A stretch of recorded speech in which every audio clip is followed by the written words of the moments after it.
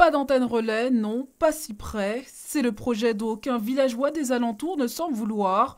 Les propriétaires situés à proximité s'inquiètent des éventuels risques sur leur santé. Moi, pour mon pacemaker, je sais qu'il n'y a rien de fiable. Ils ne peuvent rien garantir la fiabilité de l'appareil, comme quoi il ne subira pas des dommages dus aux ondes. Ça, ils ne peuvent pas le garantir.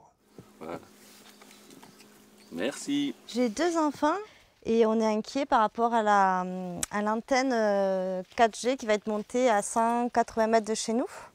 Pourquoi? Parce qu'on n'a aucune information sur le type d'onde ces riverains déplorent aussi un manque de communication sur la construction des installations. On a su par hasard qu'il allait y avoir une antenne relais qui s'implantait ici.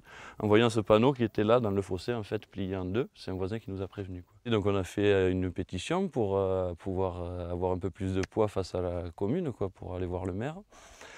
Et en fait, ils ont commencé les travaux trois jours après qu'on ait commencé à faire signer la pétition.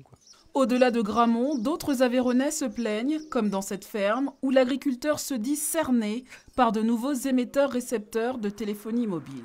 La première antenne se trouve à 600 mètres de la maison, à l'ouest.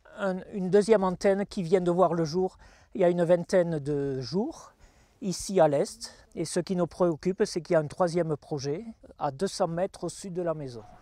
Les deux maires expliquent agir pour l'intérêt général de leurs administrés. L'accès à Internet pour tous, partout en France, est une promesse de l'État. Les deux élus ne souhaitent pas accorder d'interview pour le moment.